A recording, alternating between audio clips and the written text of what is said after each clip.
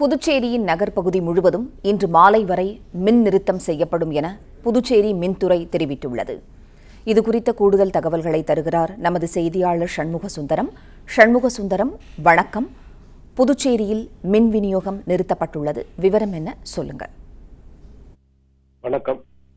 புதுச்சேரிக்கு வரக்கூடிய உயர் மின் அழுத்த பாதையில் குறிப்பாக வெள்ளியூர் பகுதியில் இன்று காலை ஒன்பது மணி முதல் ஐந்து மணி வரை பராமரிப்பு பணிகள் மேற்கொள்ளப்பட உள்ளதால் புதுச்சேரியினுடைய முக்கிய மின் பகுதிகளான மரப்பாலம் மற்றும் வெங்கட்டா நகர் துணை மின் நிலையங்களிலிருந்து புதுச்சேரியினுடைய நகரப்பகுதிக்கு வரக்கூடிய மின் விநியோகம் மின்தடை ஏற்படும் என புதுச்சேரி மின்துறை அறிவித்துள்ளது.